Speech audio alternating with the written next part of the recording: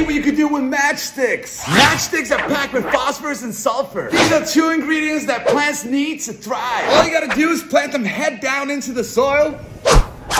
What's gonna happen is every time you water your plants, phosphorus and sulfur is gonna slowly get released into the soil. Plants need phosphorus to develop good root systems. And sulfur helps your plants grow leaves with a vibrant green color. Leave the matchsticks in the soil for about two weeks and then replace them with new ones. So don't buy those fertilizers at the store. Save your money and just use matchsticks.